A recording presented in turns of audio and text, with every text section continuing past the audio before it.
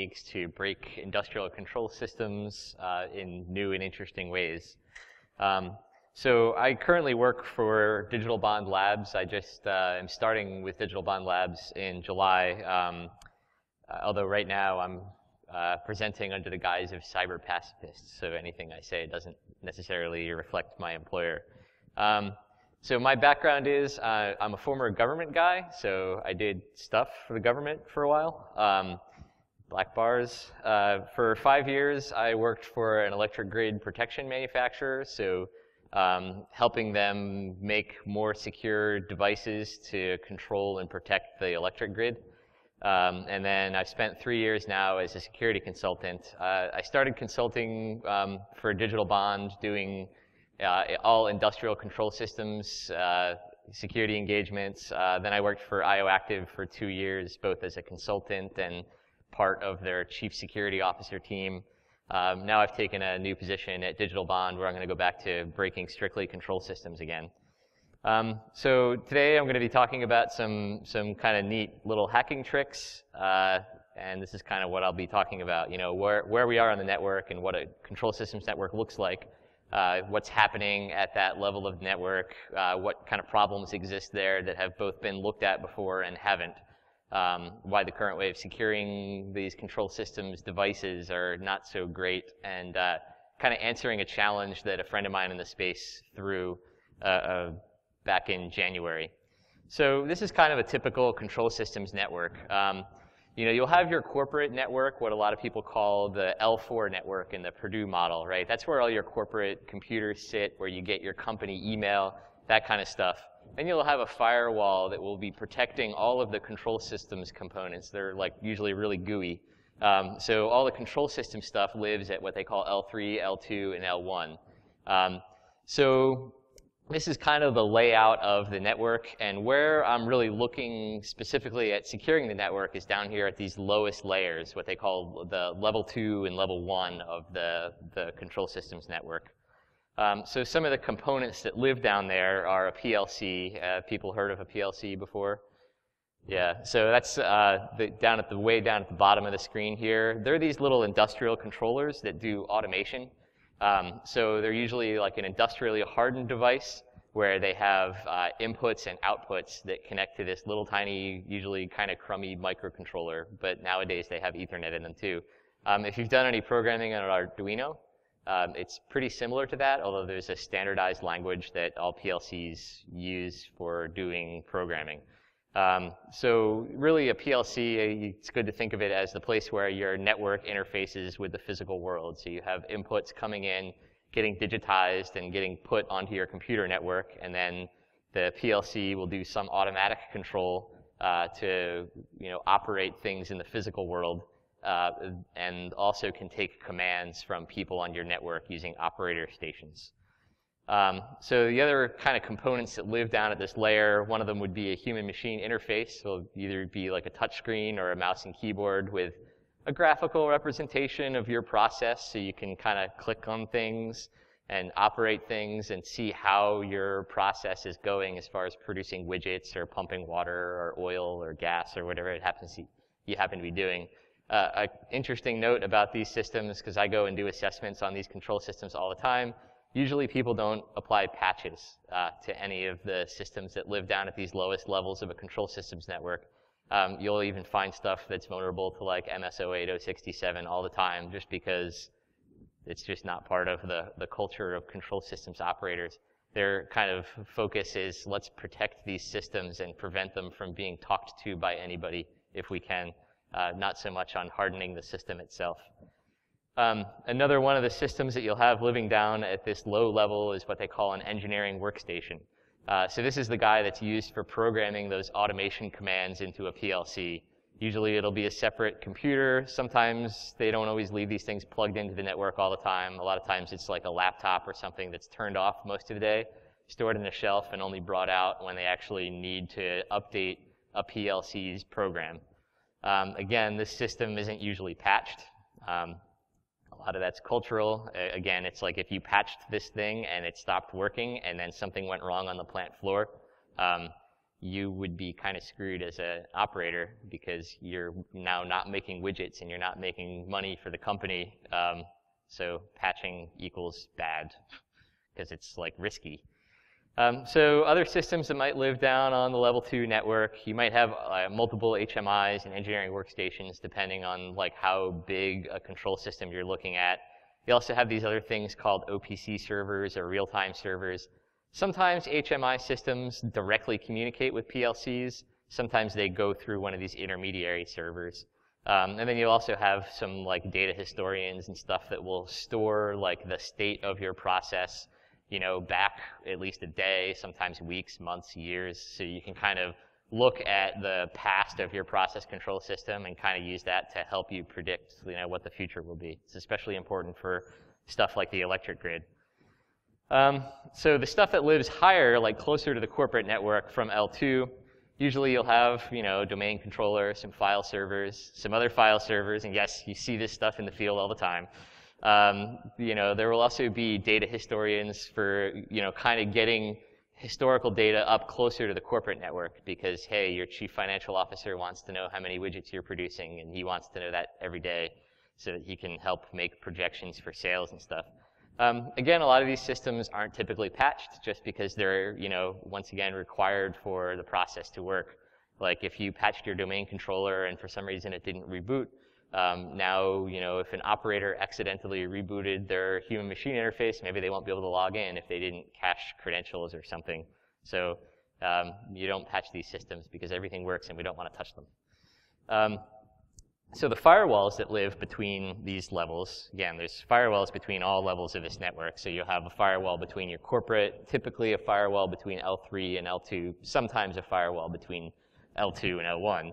Um, the firewalls are usually really, really permissive, and um, a big part of that's just culture, right? A lot of these guys are good at operations, and they don't really know IT, they don't really understand protocols, they don't really want to, so they just say, well, um, our domain controller needs to talk to our L2 workstation, so just plug in the IP address of a domain controller and plug in the IP address of our uh, HMI station and say they can talk to each other on any protocol, any port, because I don't feel like figuring out what they actually need to communicate with each other.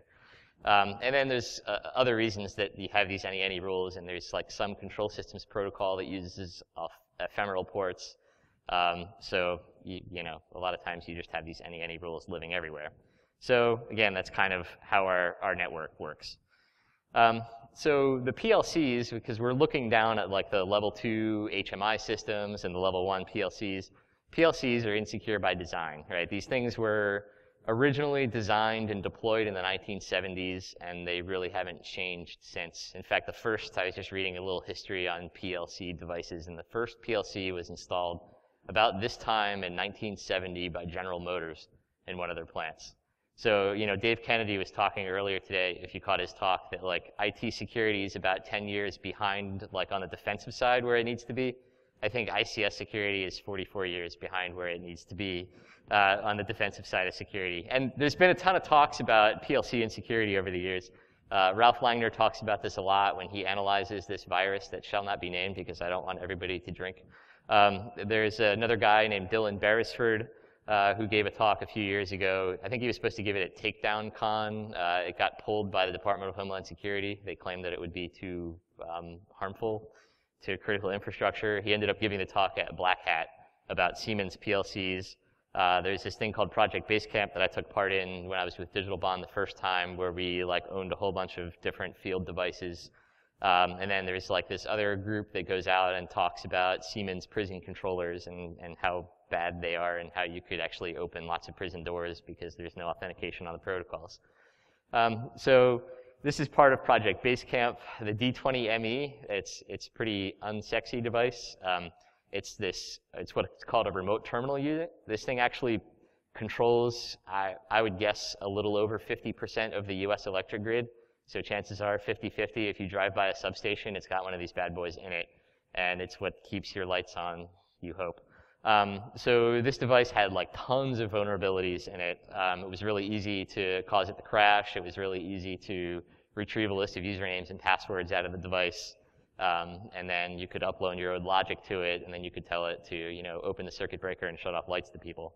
Uh, this was another one that's pretty commonly used in critical infrastructure. This one's more common, I would, I guess, in, in water than in electric. Um, but this is called the Modicon Quantum. A lot of the same problems. You know, it had some backdoor accounts that let you log into the PLC, upload new logic, upload a Trojan firmware, all that fun stuff. Uh, this was another one. This is made by Allen Bradley. Their ControlLogix line. Um, yeah, nice fail light on their Ethernet controller.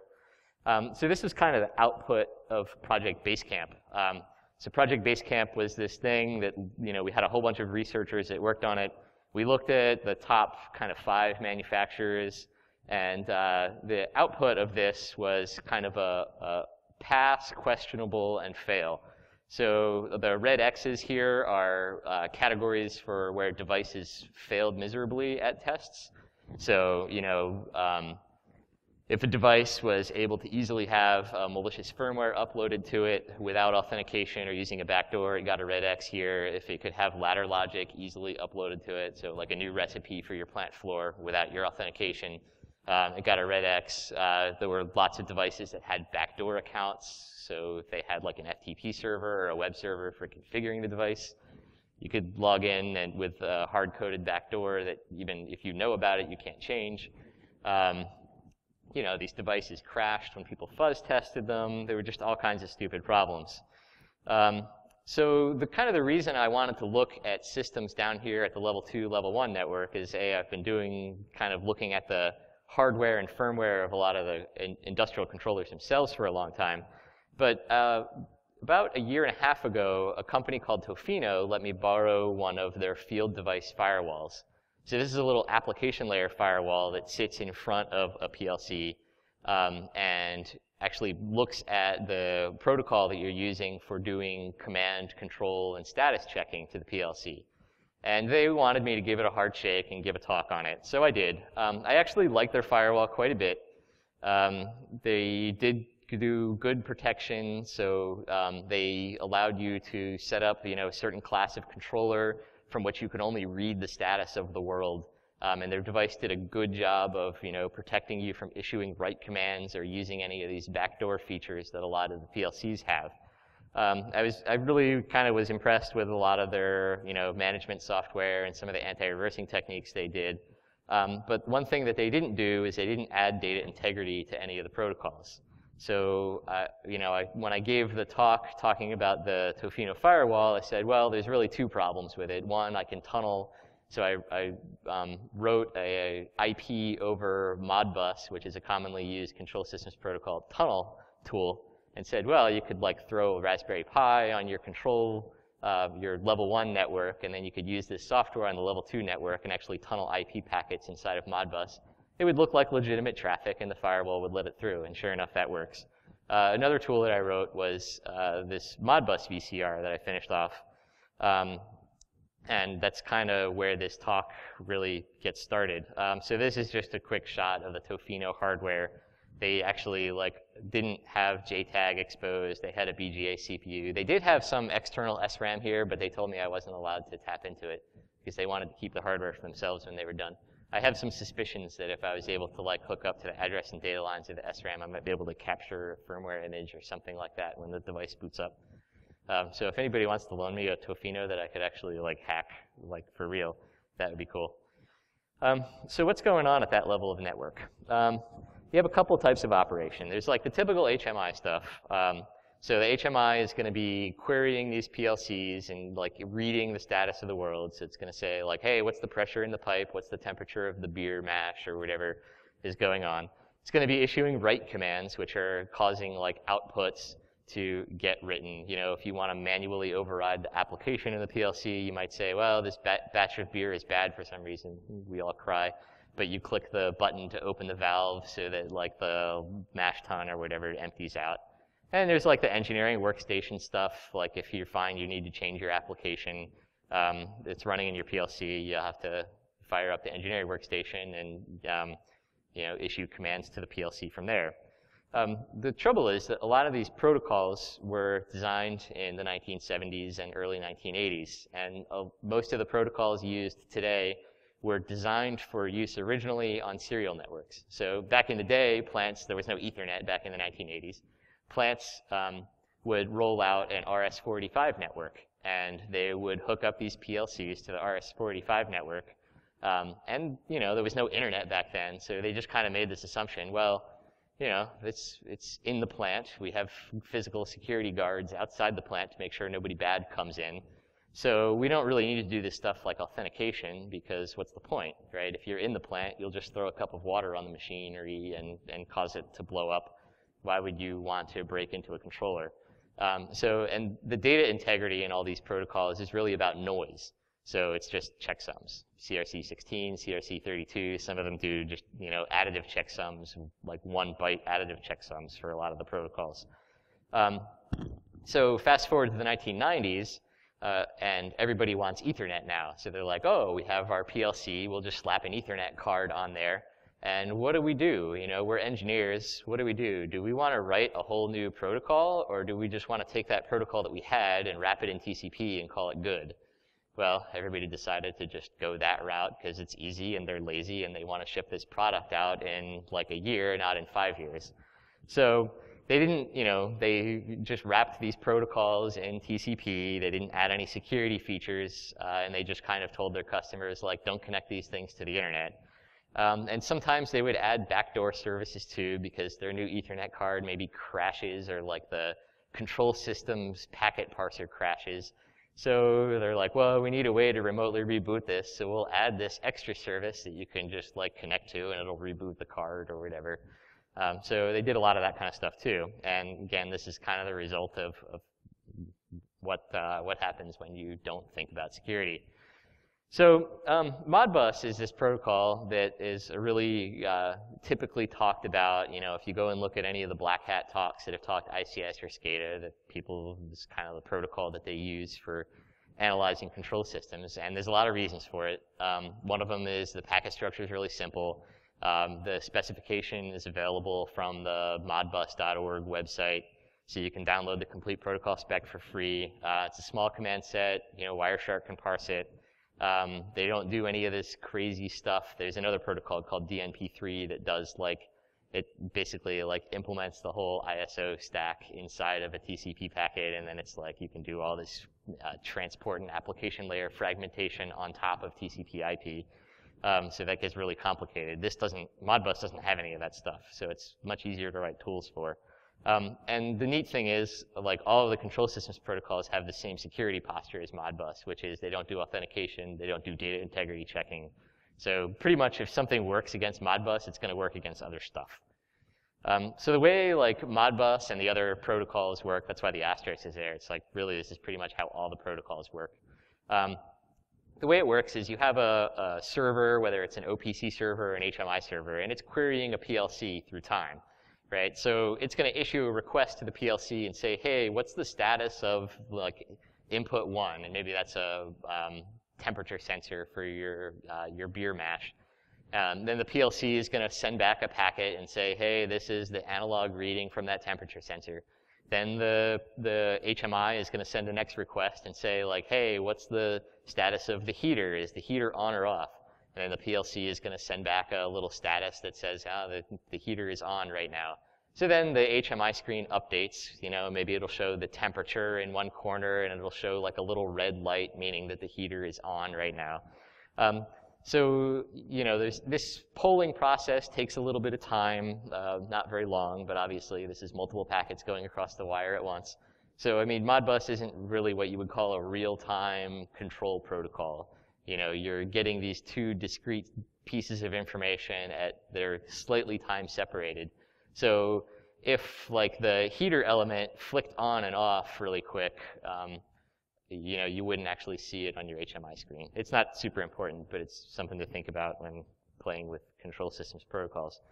Um, so how Modbus works is, you know, these, these polling sequences are almost always the same, right? It's always going to be asking for the same pieces of information from the PLC in exactly the same order.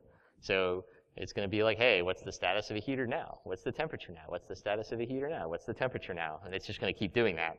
Uh, you know, the values will jiggle around a little bit. Um, and that's just natural variation in either like sensor jitter or real world jitter. You know, if you're looking at an electric grid, people might turn on stuff that uses electricity, so your current draw will go up, and you know, whatever. The real world is is analog and jittery. Um, so what's the problem? So, uh, like I said, ICS protocols lack data integrity, right? So this is the Modbus packet format. Um, Modbus has a couple of silly fields. I call them silly. They're the first couple of fields, there's a transaction ID. That's just a two-byte identifier that's made up by the HMI system. Um, usually HMIs will increment this value. Uh, so the first request will have zero for these two bytes. Second request will say one. Third request will say three, uh, two, uh, sorry. Um, then the next thing is a protocol ID. Usually they just leave that at zero. I don't really know what that's supposed to mean. Um, then there's a length field that says length of packet. So the length field is two bytes long. For historical reasons, Modbus packets, I think, are only allowed to have 255 bytes total in their data payload. So I don't think the first, the most significant byte of the length field can even be used. Um, there's a unit identifier that most vendors don't even use. They just don't even care what it is. The, where the interesting stuff happens is this function code and then the data payload. So the function code being one byte, data payload being the rest of the data. Um, but of note, there's no digital signature here. There's no crypto. Um, so if you did a man-in-the-middle attack against this, you can spoof data really easily. Um, and remember, kind of like the assumption I've been making here is that, okay, this field device is protected by a read-only firewall, so it's going to prevent me from issuing any other kinds of bad commands to the controller. So these are the, what the Modbus function codes mean. There's, you know, like I said, this one byte function code field. One through four are defined as different read commands.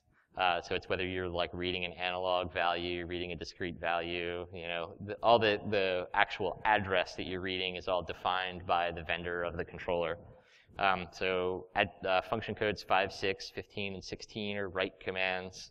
Um, so that's how you issue an operator command to the real world, open a circuit breaker, open a valve, close something, whatever. Um, there are two, um, two function codes defined by the Modbus standard uh, for programming the PLC, for actually uploading new ladder logic to the PLC. Uh, I don't see that typically implemented by vendors. Uh, so the one vendor I've looked at that um, implements ladder logic upload over Modbus is actually Schneider. And for a little background, Schneider bought Modicon years ago, and Modicon are the people that invented the Modbus protocol. So I don't, I think if Schneider doesn't use function code 125, 126 for doing ladder logic upload, probably nobody is going to.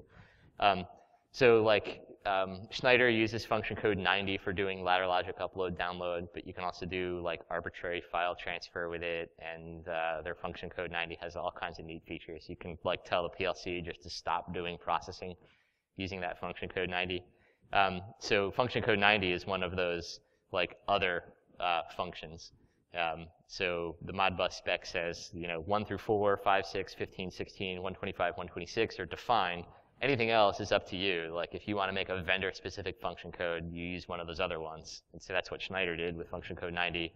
I'm sure other vendors do similar stuff. You know, a few years ago, I heard a rumor of a, a GE uh, digital relay. So that's a piece of equipment that protects the electric grid, having like a firmware update over the Modbus protocol. Uh, so you can do all kinds of crazy stuff over it. Um, so the application firewall, like I said, it, it inspects the Modbus packet itself. It actually like checks out all those fields and makes sure things look legit. So like, remember how I said the length field is two bytes long, but the, the packet uh, length restriction is really 255. It'll check to make sure that you're uh, using a valid length field. It will make sure that like the total data that you're sending and the length field match up. Um, and it'll, it can also make sure that uh, the function code that you're trying to use is allowed. So when you try to send packets through the firewall that are um, not allowed, it blocks the request. It's actually like a transparent firewall. I don't know what you call that, like a level one fire or layer one firewall. Um, but it'll actually, it pretends to be the PLC itself, um, and it just issues a TCP reset to both the HMI system and to the PLC um, if the packet's malformed in any way, if it, you know any of the fields look awry, uh, it'll do the same thing: block the request, issue resets to both sides of the communication, and it does a good job of that.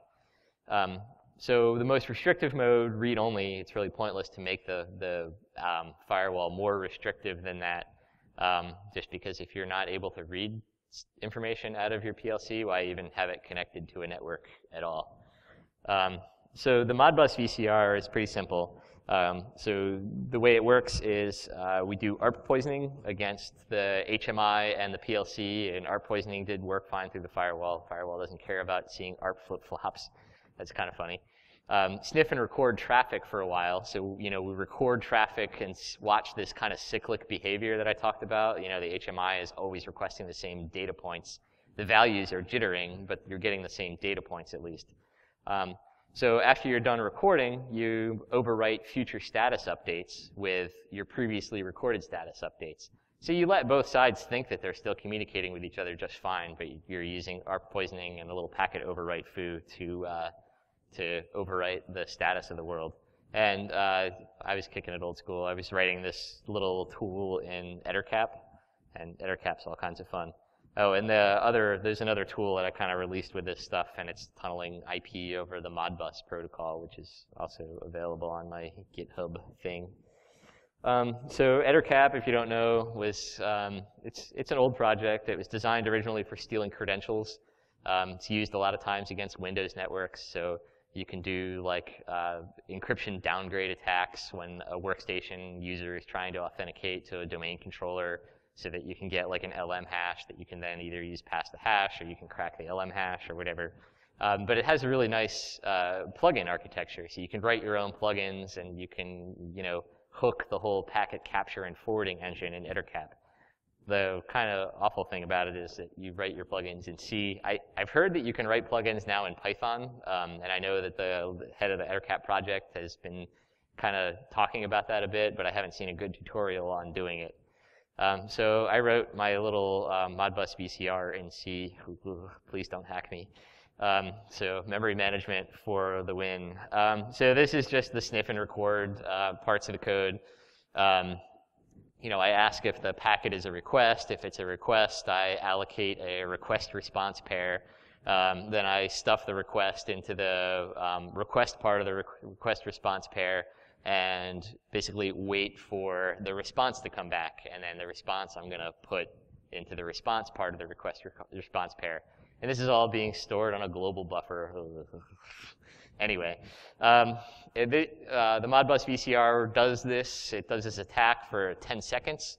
Um, then once the 10 seconds is up, and for most small uh, industrial control systems, 10 seconds is more than enough time to like record lots of states of the network as they fly by.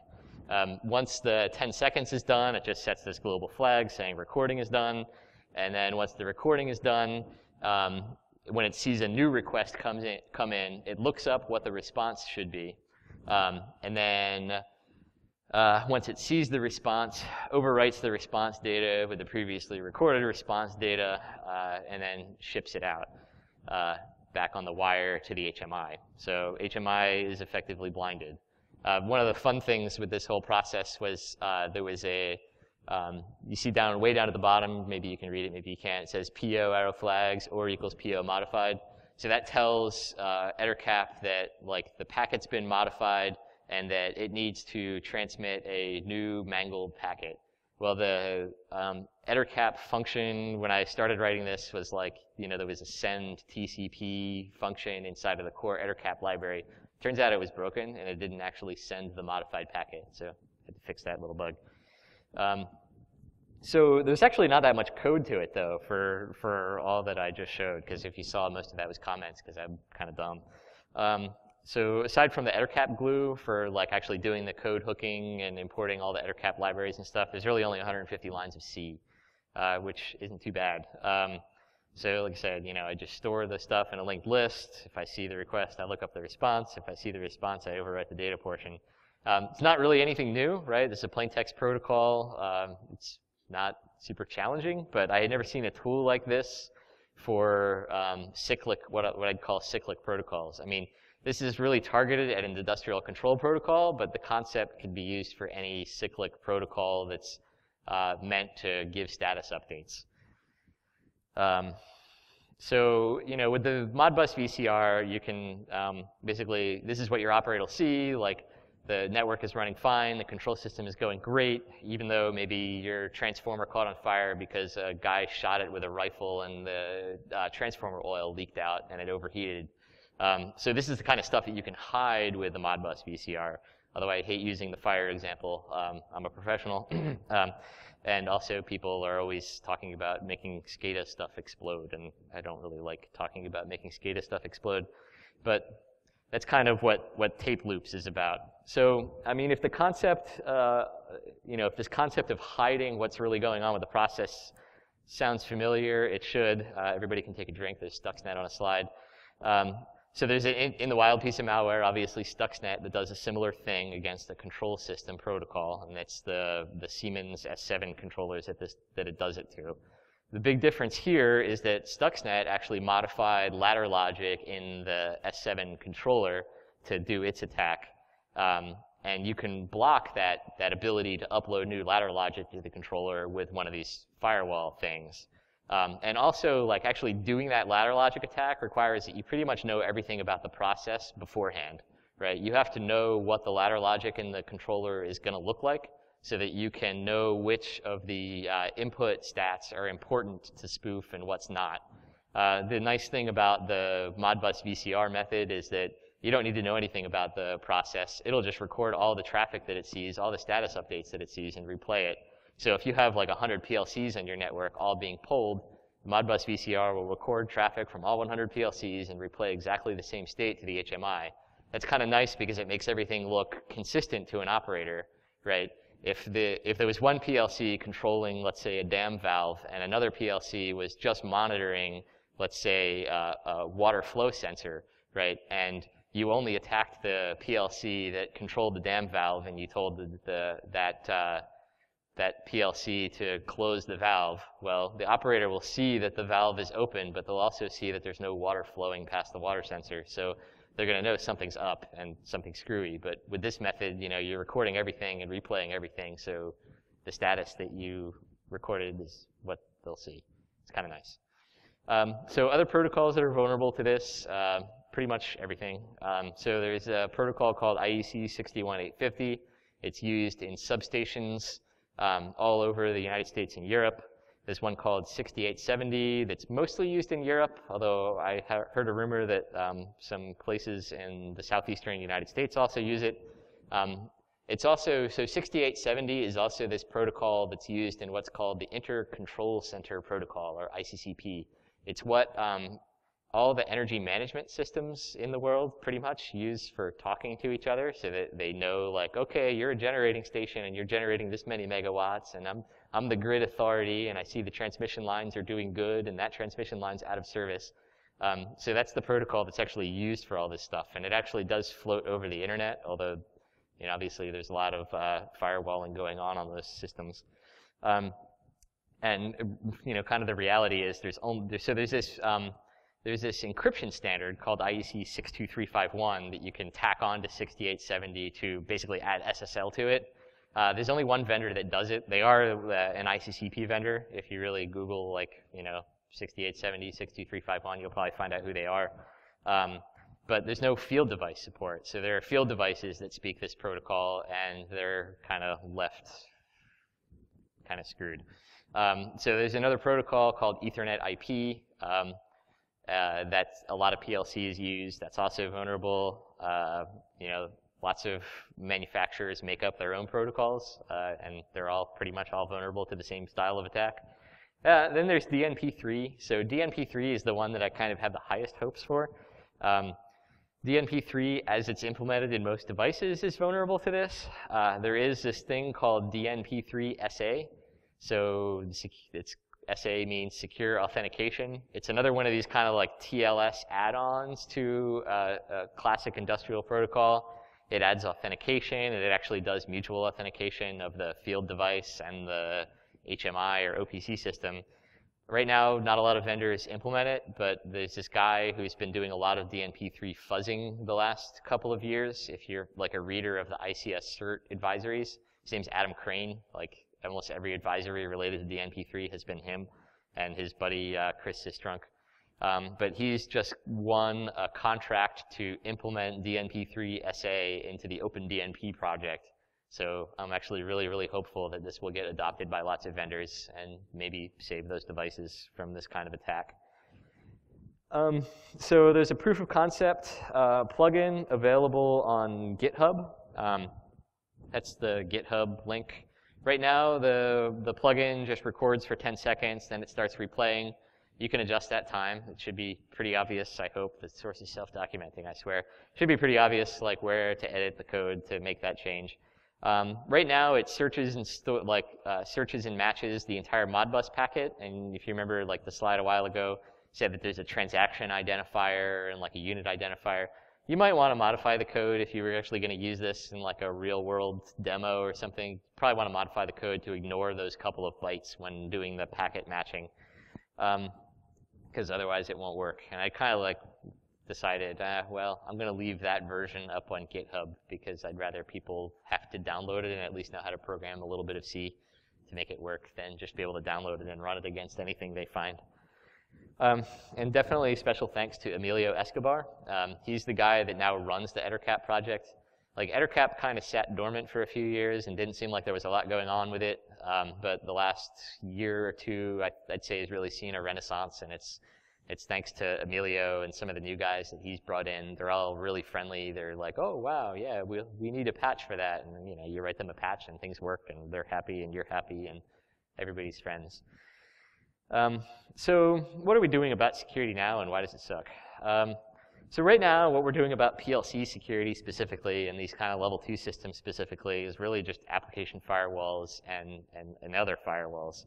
And, you know, I kind of designed this attack because of the application firewall being pretty good and I wanted to show that there were still problems. Um, so an application firewall alone isn't going to help you here. Um, really, if you want to protect your network from this kind of attack, you need to do ARP poison detection. Um, and so when I first talked about this idea before I released the tool, I was at a security conference called S4, and it's the SCADA Security Scientific Symposium. And like its name sounds, it's very like SCADA and industrial control systems specific. Um, so there were like 120 people in the audience and like a lot of people that actually run control systems networks. And I was like, hey, so how many of you guys actually do like ARP poison detection on your networks? And one guy raised his hand, and I was like, so what caused you to start doing start doing that? And and because I kind of figured his answer would be, oh, we got hacked one time or something. But then he kind of put down his hand. He's like, well, we're thinking about it. I'm like, okay. So I mean, these are like the smartest guys in the ICS space, right? These are definitely the most proactive guys. They're like paying big money to go to Florida and talk to uh, ICS security researchers and like you know, do all this networking and, and they're not doing this thing that, that a lot of people have talked about in the IT security world for a long time. Um, so, and kind of another thing that makes this a little bit more relevant maybe is, is um, you know, a lot of these control systems are like really geographically spread out, right? I've been on field sites like in the middle of nowhere America, you know, with some little PLC in a shack that's helping run like either an oil pipeline or or whatever. Um, and you know, this little shack doesn't have a gate around it. It doesn't even have a lock on the door. And that kind of surprised me when I saw that one because I was like, hey, why isn't there a lock on the door? And the guys that ran the place were like, well, uh, you know, we have an alarm on the door. And um, one time we, the alarm went off and, you know, some like meth heads or something broke into the place. They had kicked the door down and then, you know, smashed everything in the, the control house and he was like, well, they did all that, and by the time a cop could get out to even check on it, it was like four hours later. So, of course, the guy was long gone, whoever did it. Um, so he was like, we decided at that point that we weren't going to lock any of our, our little outbuildings anymore because, you know, not only now were we down $10,000 worth of PLC gear in this control house, but now we were also down a door. So it's like better just to leave it unlocked because if somebody wants to do something bad out in the field, they're going to do it, right? So, yeah. And that's, yeah, that's kind of one of the fun, horror things about industrial control systems.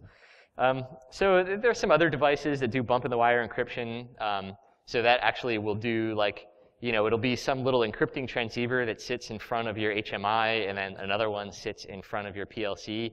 And those are, those are kind of nice. Um, one downside to them is that they're all or nothing. So like, you know, if you pwn the HMI system, now you can you know, have the encrypting transceiver just encrypt the packets and then they'll be decrypted correctly to the PLC so you can do all the bad stuff still through there. And, uh, you know, the other thing is they're really expensive. So it's like you have to buy hundreds of these little encrypting transceivers to sit in front of all your devices. And then it's like hundreds of more stuff that you have to like manage out in the field. And, uh, you know, if you're in, an operator that, that doesn't necessarily have a lot of IT expertise, um, you know, managing encrypting transceivers and managing keys and having all these field devices out there is probably not going to help you a lot. Um, what we're mostly not doing about it is doing mutual authentication. So making sure that the HMI is verifying that the PLC is who it says it is, and the PLC is verifying that the HMI and engineering station are who they say they are.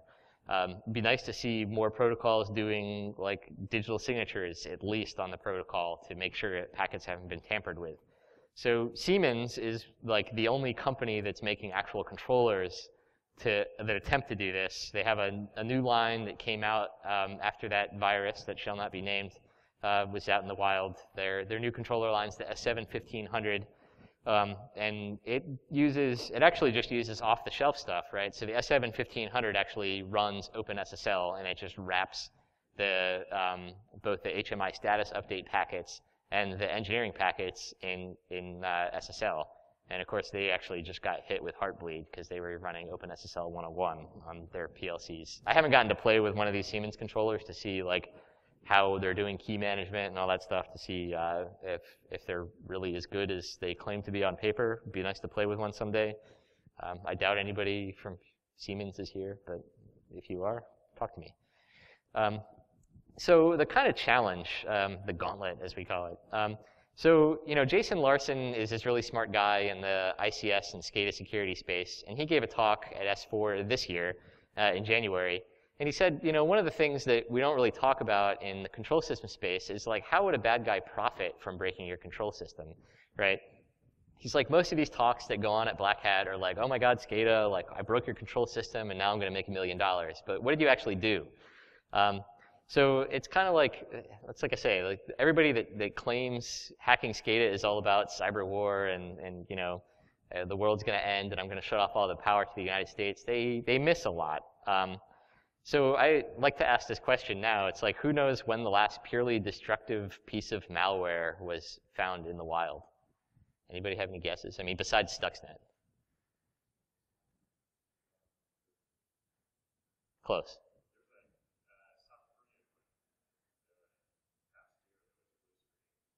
Oh, I hadn't even heard of that one. Okay, so the answer that I had was from 2005. Um, it was this one called Blackworm. Um, I got that answer from Miko Hyppönen, and I just asked him the other day on Twitter, and he was like, oh, the last one that I know of in the F-Secure database is, is this one.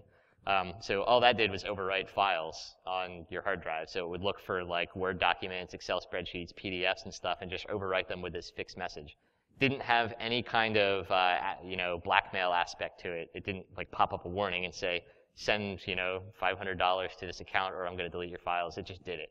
Um, there really aren't that many pieces of malware that do it, right? So, you know, Slammer 2005, 2003 or whatever it is in 2005, a South Korean one in 2009.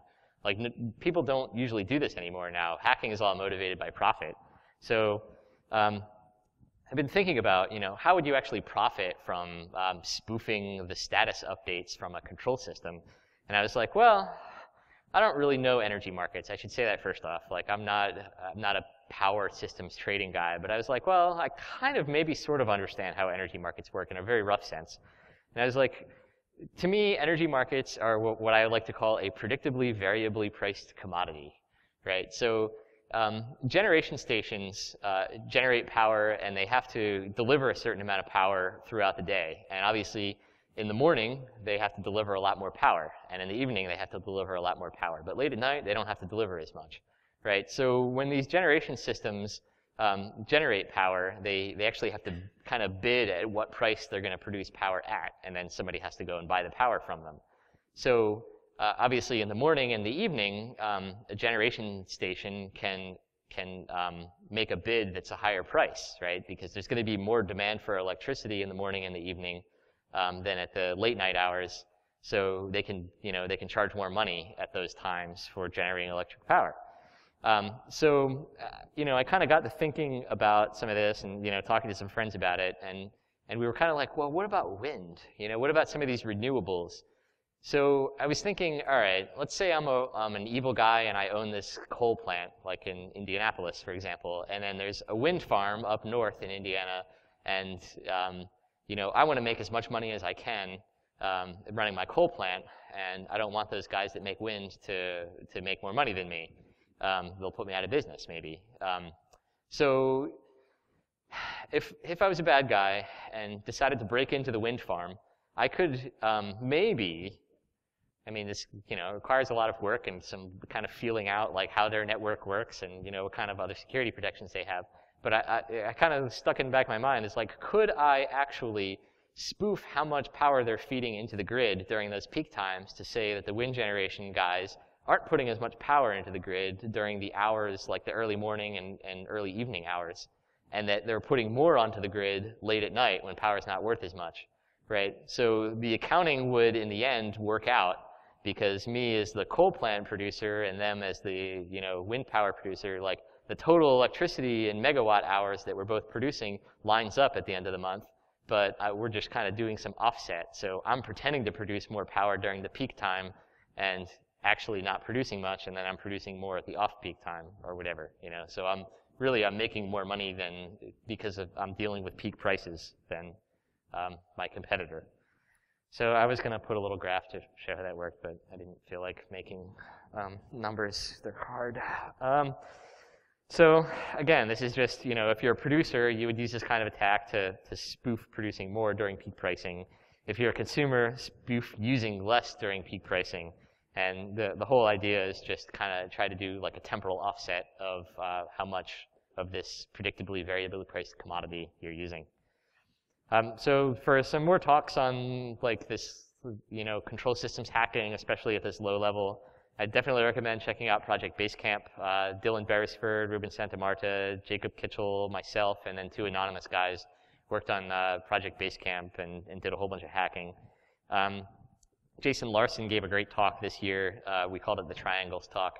He, um, he basically he took a um, wireless sensor, wrote about 200 extra bytes of code, code hooked the firmware in the sensor so that the sensor would um, produce reasonable looking spoofed data with including like adding noise to the data that was completely made up. I mean, it was, you know, it kind of looked at what the sensor had seen in the past and then just spoofed new data that kind of looked like the old data, but added jitter and stuff to it. Um, so it was pretty neat, and he did it in a tiny, tiny amount of space, so he wins.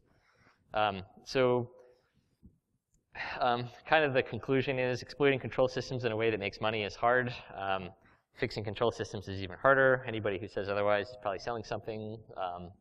And if you need control system consulting, call me. No. okay, and that's all I have. So any questions?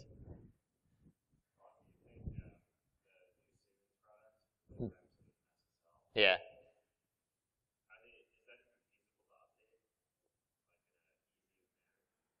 Uh, to like, if you wanted to roll it out as a user,